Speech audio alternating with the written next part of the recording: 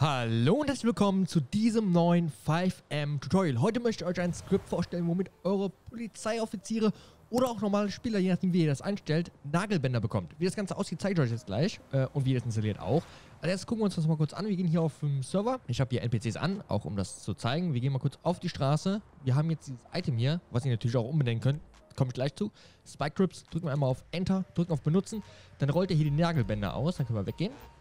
Ja, ja. So, und Bam. Reifen platt. Warte mal, bis da einer schneller drüber fährt. Okay, der fährt daneben.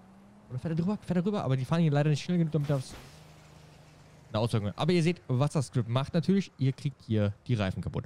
Und wir können das auch wieder wegnehmen. Zack, gehen wir einmal hin. Drücken E, weg ist das.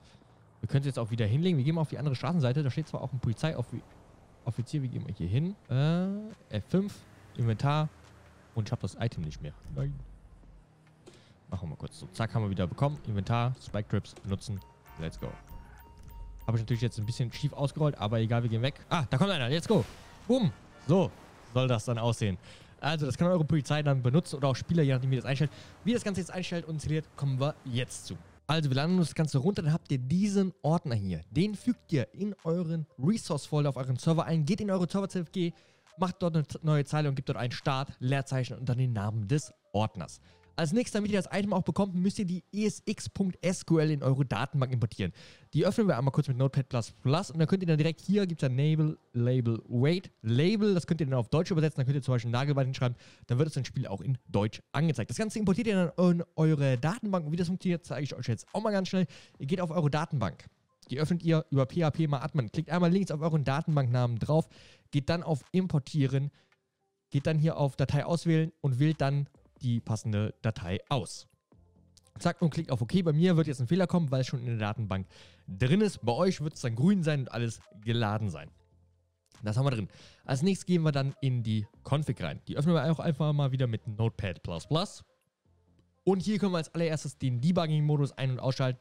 Natürlich solltet ihr den auslassen, wenn der Server im Live-Betrieb ist. Wenn ihr irgendwie Bugs habt oder irgendwelche Probleme debuggen, ne, könnt ihr das auf True setzen wenn ihr das wollt. Als nächstes haben wir hier den Punkt NPC Vehicles True oder False. Ist das Ganze auch False, wenn NPC-Autos von diesen Nagelbanden nicht äh, die Reifen zerstochen? Habt ihr das auf True, wird das so sein wie gerade bei mir im Video, dass auch NPC-Autos die Reifen kaputt gemacht werden. Als nächstes könnt ihr hier das Framework einstellen. Das funktioniert mit äh, äh, QB Core, ESX und auch Non. In meinem Fall, ich mache hier alles hier für ESX, schreibt ihr dann hier, wo Non steht, einfach ESX rein, also ohne Punkt. Dann habt ihr als nächstes Require Job to Place. Ist das auf True, kann nur die Jobs, die auch hier unten gleich definiert werden, das Nagelband benutzen. Wenn nicht, wenn ihr das wollt, dass alle Spieler so machen, macht ihr das hier auf False.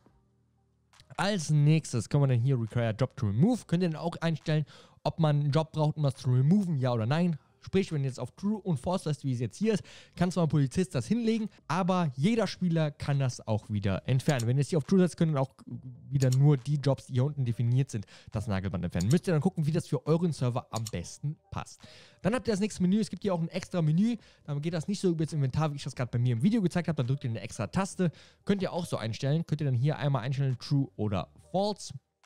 Wenn ihr das wollt, dieses Menü, dann könnt ihr eingeben, ob ihr auch mit Command äh, das benutzt werden könnte. Und macht hier, könnt ihr hier hinschreiben, was ihr wollt in diese Anführungszeichen. Und wenn dann ein Polizist oder jemand anders, je nachdem, wie ihr das vorher einstellt, Slash und dann den Command, den ihr hier einträgt, eingibt, kann ihr das Nagelband hinlegen. Das Ganze gibt es auch mit Menü. Da könnt ihr hier die Taste eingeben.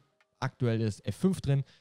Könnt ihr auch eine andere Taste machen, wenn ihr es über ein Menü regeln wollt. Als nächstes kommen wir hier zu dem Framework Features. Das funktioniert nur, wenn hier oben ESX oder QB eingegeben habt, wenn ihr hier Non stehen habt, dann funktioniert das Ganze nicht. Als erstes könnt ihr hier natürlich wieder den Item to Deploy hinschreiben. Das solltet ihr so lassen, weil ihr ändert ja in der Datenbank nicht äh, ähm, den Namen des Items, sondern nur ihr Label, quasi was angezeigt wird. Dementsprechend muss hier das, äh, der Name eingetragen werden, nicht das Label, was ihr auf Deutsch steht.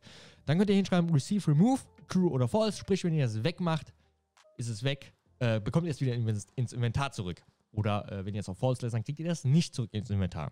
Dann könnt ihr noch hier hinzufügen Remove Job. Das spricht, wenn ein Polizist das removed, könnt ihr äh, einstellen, ob er es bekommen soll oder nicht. Ist es false, kriegen Polizisten das zum Beispiel nicht zurück, macht ein Spieler das aber weg, kriegt der Spieler dieses Nagelband. Dann könnt ihr als nächstes einstellen, was für ein Menü ihr haben wollt. Wird hier auch erklärt. Wenn ihr jetzt auf False ist, habt ihr euer ganz normales ESX Default Menü oder beziehungsweise so Default, wie ihr das auf euren Server konfiguriert habt. Macht ihr es auf True, sieht so ähnlich aus wie bei GTA. Könnt ihr einstellen, wie ihr wollt. Dann kommen wir jetzt hier wieder zu einem wichtigen Funktion und zwar zu den Jobs. Wenn ihr vorher definiert habt, dass dieses Item nur einer bestimmte Jobgruppe zur Verfügung habt, müsst ihr hier unten die ganzen Jobs eintragen. Standardmäßig ist ja Police und Sheriff. Wenn ihr natürlich noch mehr Jobs habt, müsst ihr die alle hinzufügen. Da kopiert ihr euch einfach eine Zeile, macht hier einmal Enter und fügt es ein. Ja, das sollte schon untereinander stehen. So. Und tragt dann hier den neuen Job ein. Dann mache ich jetzt einfach mal Job 123. Oh, jetzt sollte aber auch richtig schreiben. So, Job 123. Ne, müsst ihr natürlich einen richtigen Jobnamen aus eurer Datenbank hier eintragen, damit ihr das auch benutzen könnt.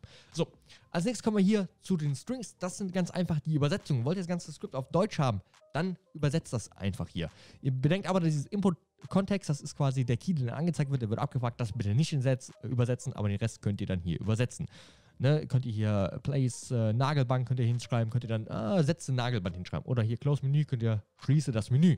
Oder dein Inventar ist voll, du hast keine Nagelbänder bekommen. Je nachdem, wie ihr das hier einstellt. Das könnt ihr dann hier auf Deutsch übersetzen. Das Ganze speichert ihr, ladet das dann auf euren Server hoch, packt es bei euch in den Resource-Folder, geht in eure Server-CFG, neue Zeile, Start, Leerzeichen und den Namen.